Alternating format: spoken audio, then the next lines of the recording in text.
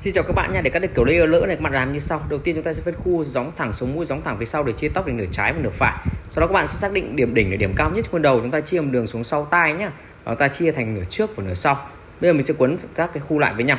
Các bạn lưu ý trong quá trình phân khu chúng ta phân phải rõ ràng và các khu phải cân đối với nhau nhá. Và đây là kết quả quá trình phân khu.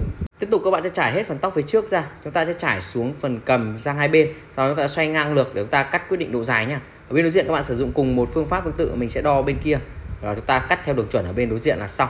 Bây giờ mình sẽ lấy một chút đường chuẩn ở phần tóc ở phía trước cắt quyết định phần mái nha. Các bạn sẽ cắt dài hơn phần cầm khoảng 2 cm. Sau đó các bạn sẽ nâng hết phần tóc này ra phía trước, góc 90 độ so với mặt đất nha, góc vuông 3 các bạn sẽ cắt nối từ phía trong ra phía ngoài. Sau đó các bạn sẽ cắt đi phần vát ngọn nhọn ở bên dưới này là xong. Và tạo độ liên kết ở nhà bên đối diện các bạn sử dụng cùng một phương pháp tương tự để hoàn thiện, cũng sẽ nối giữa phần tóc phía trong và phần tóc phía ngoài. Sau các bạn có thể đứng phía sau, các bạn kẹp ra này, các bạn sẽ cắt trượt ra cũng được nha. Và để cắt phần tóc phía sau, các bạn sẽ trải hết phần tóc phía sau xuống và tương tự thôi các bạn sẽ trải không độ xuống và cắt quyết định khuôn viền nhá. Để cắt quyết định khuôn viền ấy thì các bạn sẽ lấy một chút tóc ở phần tóc phía trước làm đường chuẩn nối hai điểm này với nhau. Và chúng ta nối nối theo kiểu mình sẽ cắt dạng oval một chút nhá. Các bạn sẽ cắt chéo dưới khoảng 15 độ. Đầu tiên ta cắt một đường ở giữa sau đó ta sẽ nối ba điểm với nhau là xong. Sử dụng cùng một phương pháp tương tự đối với bên đối diện này các bạn sẽ nối với nhau nha và các bạn uh, quan sát là mình đang cắt đường cắt zigzag để tạo độ mềm mại luôn cho kiểu tóc này. Bây giờ mình sẽ tiếp tục trả lại phần tóc mà mình mượn lúc nãy ở phần tóc phía trước. Sau kèm gọn tóc phía trước vào. Với tóc phía sau này mình sẽ chia làm ba lớp để điều chỉnh tầng lớp nha đầu tiên lớp trên cùng, đó là lớp khu chữ U. Các bạn sẽ đo như mình vừa mới à, làm nha các bạn sẽ chia phát tán cái tóc này do có xoáy. Và mọi người sẽ nâng góc độ là 135 độ so với mặt đất. Hướng về phía sau và chúng ta sẽ lấy một chút tóc ở phía trước làm đường chuẩn. Tiến hành một người cắt nha nâng 135 độ hướng về phía sau.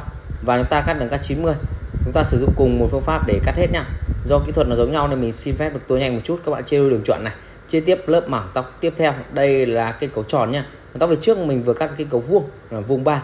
Tóc phía sau này chúng ta cắt hoàn toàn kết cấu tròn để tạo độ tròn đều nhá. Như vậy các bạn chia đôi đường chuẩn chia tiếp lớp mảng tóc tiếp theo và sử dụng cùng một phương pháp tương tự nâng mảng 135 độ và đường cắt 90 cắt theo đường chuẩn ở bên cạnh nhá. Sử dụng cùng một phương pháp tương tự để hoàn thiện hết bên đối diện. Ở phần tóc bên này ấy, thì mình sẽ cắt bên trái mình sẽ đứng bên phải. Đứng bên phải mình sẽ cắt bên trái nhá. Chúng ta tránh chúng ta đưa những phần không mong muốn cơ thể của mình trước mặt khách hàng vậy chúng ta phải đứng đúng tư thế để mọi người cắt với phần tóc u chữ u phía sau này. Sử dụng cùng một phương pháp tương tự để hoàn thiện hết cứ chia đôi đường chuẩn. Và chi tiết lớp mảng tóc tiếp theo sử dụng kết cấu tròn nghĩa các bạn sẽ nâng đúng trung tâm mảng chạy xung quanh con đầu nhá. Và kiểm tra mặt cắt nó là tròn đều xung quanh con đầu này là ok. Bây giờ mình sẽ lấy một chút đường chuẩn ở phía trước ở phía trên ấy các bạn sẽ lấy khoảng 0,3 đến 0,5 cm các bạn sẽ chia tiếp lớp ở tóc thứ hai. Các bạn sẽ chia đôi phần tóc ở bên dưới ra gióng thẳng từ đỉnh tai gióng ngang chúng ta sẽ chia một đường song song với mặt đất để chia tóc thành hai. Lớp nha. Mình sẽ cắt tiếp lớp phần tóc khu hậu não này. Để cắt khu hậu não thì các bạn sẽ chia lớp phần tóc dọc nha, và nâng góc độ 90 độ so với mặt đất nhé và mọi người sẽ tiến hành cắt. Như vậy các bạn sẽ cắt đường cắt này và chia đôi đường chuẩn, chia tiếp lớp mảng tóc tiếp theo. Và các bạn sẽ nâng góc độ là 90 độ và đường cắt 90 đây, góc độ nâng so với mặt đất nha các bạn nhé các bạn sẽ nâng lên. Và chúng ta sẽ cắt theo đường chuẩn ở bên cạnh, sử dụng kết cấu tròn nhé mọi người. Như vậy bạn sẽ cắt hết phần tóc ở các bên như thế này bên đối diện các bạn sử dụng cùng một phương pháp tương tự. Có điều là mình cắt ở bên trái, nên mình sẽ sử dụng ngửa tay nhá. Như mình đã nói, đứng đúng với các tư thế tiêu chuẩn đấy, chín tư thế đứng cắt tiêu chuẩn trong à, quá trình mình cắt tóc thì sẽ tạo ra cho mọi người lúc nào lưng cũng thẳng. Thứ hai là góc nhìn nó thoáng nhất và đưa ra đường cắt được chuẩn xác nhất nhé sử dụng cùng một phương pháp mình cũng sẽ chia đuôi đường chuẩn. Chi tiết những lớp mở tóc tiếp theo.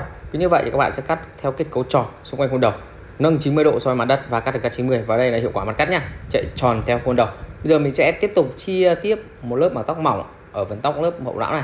Để chúng ta sẽ lấy làm đường chuẩn để cắt phần tóc ở khu gáy bên dưới nha. Khu gáy bên dưới chúng ta cũng sẽ chia lớp mảng tóc. Đầu tiên mọi người sẽ chia một lớp tóc dọc ở giữa này. Các bạn sẽ cắt liên kết với phần tóc ở phía trên nâng góc độ 45 độ soi mặt đất và cắt xuống. Chúng ta nhớ bớt lại khoảng 1,5 cm đường khuôn viền nha. Không cắt vào đường khuôn viền. Đó mình sẽ bớt lại đường khuôn viền như các bạn đang quan sát và tiếp tục chúng ta sẽ nâng đúng trung tâm mặt sử dụng cái câu tròn để cắt theo đường chuẩn ở bên trong và đường chuẩn ở bên trên. Bên đối diện các bạn sử dụng cùng một phương pháp tương tự và đây là hiệu quả nhá Đấy, cắt xong thì nó sẽ tạo độ ôm cục tự nhiên tương đối cao.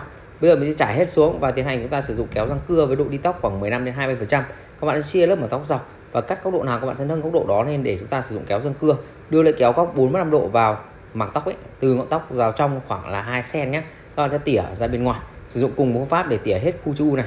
Phần tóc phần tóc bên dưới các bạn hạn chế tỉa vào nhá. Ok rồi mình sẽ sấy khô thôi. Các bạn sấy từ đằng sau hất ra đằng trước. Sấy từ đằng sau hất ra đằng trước khô rồi chúng ta sẽ sấy từ đằng trước hất ra đằng sau thì nó sẽ tạo độ ôm cụp tự nhiên tương đối cao nhá. Ok chúng ta sấy rõ cái phần ngôi ra không để nó lẫn ngôi khách hàng nhá.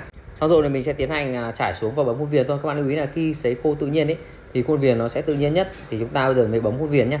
À, tuyệt đối không được tạo kiểu xong bấm khuôn viền rồi thì chút nữa khách hàng người ta gội về là sẽ ra nó không được chuẩn xác. Bây giờ mình sẽ phân khu như các bạn đang quan sát. Thì anh mình sử dụng máy tóc kiểu nhá hoặc mọi người có thể sử dụng máy là hoặc ta có thể sấy được sấy hơi cụp vào một chút nhá. Chia càng mỏng thì chúng ta làm càng đẹp sử dụng cùng một phương pháp tương tự để hoàn thiện.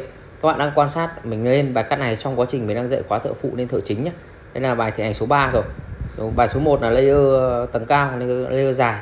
Bài số 2 là kiểu butterfly. Ở đây kiểu số 3 là layer lỡ nhá. Những cái kiểu này chúng ta áp dụng bên ngoài rất là nhiều. Nếu các bạn mà trong quá trình nhìn mình làm mà không làm được hoặc có khó khăn ở vấn đề này ở chỗ nào thì các bạn sẽ nhắn cho mình nhé để mình hỗ trợ. Hoặc các bạn nào muốn học chuyên sâu hơn thì chúng ta sẽ có thể tìm hiểu những khóa học trực tiếp hoặc online của mình. Đặc biệt là khóa phụ nên thợ chính nha ok, xong phần sóc tóc về sau rồi thì mình sẽ chia ra phần tóc về trước như thế này. Các bạn sẽ trải hất ra về trước như nào, chúng ta sẽ đưa máy cũng như vậy ra về trước nha và vào ta uốn cong khoảng là một vòng thôi nha một vòng hai, để nó tạo độ cụp nhất định thôi. Chúng ta không nhất thiết phải tạo độ cụp quá nhiều, với kiểu này chúng ta sẽ làm hóa chất bằng cách chúng ta ép cụp tự nhiên, nó sẽ rất là đẹp nhá. Ta đưa hết về phía phía trước, chia làm ba lớp. Mình đang làm lớp thứ hai rồi, còn lớp thứ ba đây. Các bạn sẽ, cũng sẽ giảm dần độ cụp khi chúng ta làm ra phía sau nhá để có độ liên kết từ trên xuống dưới, tránh nó xuất hiện tầng lớp nó không được đẹp. Ok rồi rồi thì bây giờ mình sẽ tạo độ bay cho mái tóc ở phần, phía trên này. Các bạn đang quan sát này, đưa xuống dưới, tạo độ phồng và ta sẽ hất về phía sau. Thì tự nhiên thả ra tóc nó sẽ có độ bay như các bạn đang quan sát. Nó rất là nhanh và chúng ta nhàn. Sấy thì tương đối vất vả, đúng không ạ? Làm này nó nhàn hơn nhưng mà việc làm bằng máy tạo kiểu này thì nó sẽ không ờ, được được tự nhiên bằng giấy nhá. Rồi mình muốn máy bay bay hơn, có độ phồng hơn thì mọi người sẽ làm theo phương pháp như mình đang nói nhá. Ok rồi thì mình sẽ tiến hành tỉa thôi các bạn sẽ tỉa chuốt phần tóc ở phía trước. Theo nguyên lý là khoảng không ở đâu thì tóc sẽ chạy về đó. Cái kiểu layer này thường nó sẽ chạy về phía trước, nhưng chúng ta sẽ chuốt cái mặt ở phía trước nhé, mặt tóc phía trước. Và mặt tóc phía sau, các bạn muốn tạo cái thới, chúng ta sẽ phải chuốt qua một tí. Để tạo thới thì các bạn đang quan sát này. phần tóc này chúng ta lên, chúng ta sẽ chuốt phần tóc ở phía trước thôi. Ở sau tai chúng ta sẽ dừng lại, ta không chuốt nữa nha, vì chúng ta chuốt ở phía sau tai rất dễ là cái khuôn viền phía sau nó bị mỏng mỏng, kiểu chúng ta nhìn nó như bị hụt ấy. Thì mọi người chú ý nhá, nên chuốt ở phần tóc phía trước thôi phía sau thì chúng ta bỏ qua cũng được nhá. Nếu mà dày quá chúng ta đưa kéo răng cưa ra chuốt một tí thôi. Là ok. Bên đối diện các bạn sử dụng cùng một phương pháp tương tự. Qua các bạn để ý này, mình sẽ để lại phần mái sau nhé. đây phần mái mình sẽ chuốt bay về phía sau. Nó khác với phần tóc bên dưới. Sau đó chuốt sau, bay về sau rồi mình sử dụng kéo răng cưa nhé. các bạn nên kẹp một chút tóc ở mặt trên ra. Chúng ta tỉa từ trong chạy ra, từ phía sau chạy ra phía trước nhé. và tỉa qua một chút phần ngọn. Bên đối diện các bạn sử dụng cùng một phương pháp tương tự và chuốt. Đó, sau đó sử dụng kéo răng cưa và bạn tỉa nhé ở đây chúng ta sử dụng kéo chuốt, chúng ta chuốt nó sẽ đỡ hơn đây, mình làm quen là mình sử dụng kéo cắt. Có đây là hiệu quả, chúc các bạn ứng dụng thành công nhé các bạn cần hỗ trợ thêm bài cắt gì nữa thì có thể comment bên dưới, hoặc có thể tham khảo những khóa học trực tiếp hoặc online với nha xin chào.